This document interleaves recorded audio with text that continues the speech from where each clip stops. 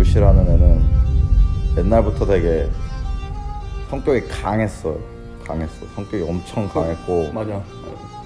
뭐 싸움도 자주 있었고 그러니까 성격이 세다 보니까 이게 막 여러 부딪히는 일이 가지 많았지. 부딪히는 게 많았죠. 겉에서 볼 때는 되게 사람들이 볼 때는 아이 이 새끼 양아치다 막 세게 보인다 이럴 수 있는데 진짜 알고 보면 좀 다른 느낌? 음, 진짜 아는 사람들은 좀 진짜 달라. 아는 사람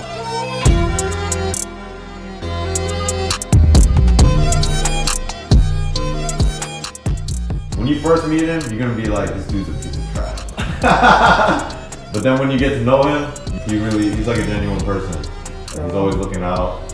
Uh, he'll motivate you no matter what. Like, 더 좋은 사람으로 바뀌는 과정이 돼 보이는 것 같아요. 음악 하고 나서부터 좀 애가 옛날 그런 그 바이브를 버리고 이제 새로운 라이프를 시작하는 느낌.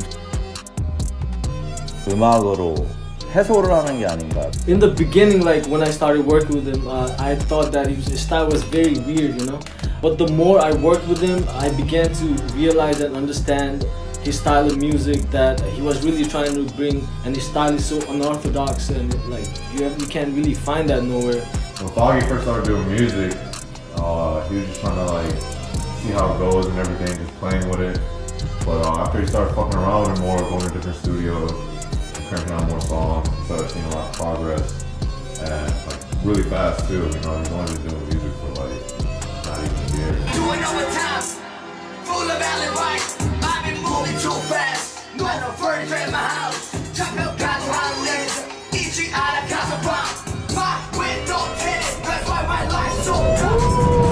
Think he's very easy to work with.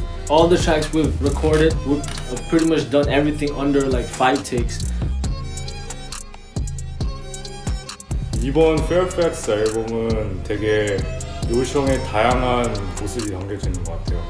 딥 앨범은 되게 이제 센 그런 그쪽 드릴 쪽으로 많이 갔는데 이번 페어팩스 앨범은 이렇게 여러 부드러운 느낌도 있고 이센 느낌도 있고 형의 캐릭터의 모든 모습이 담겨진 그런 앨범 같아요.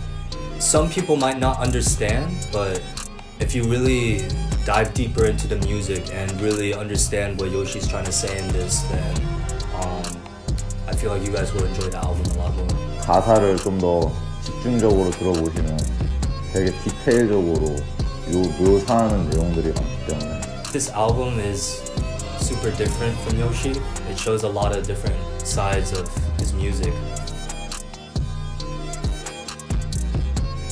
I think it's a good album that showcases Yoshi's full potential, I think. It's the next step.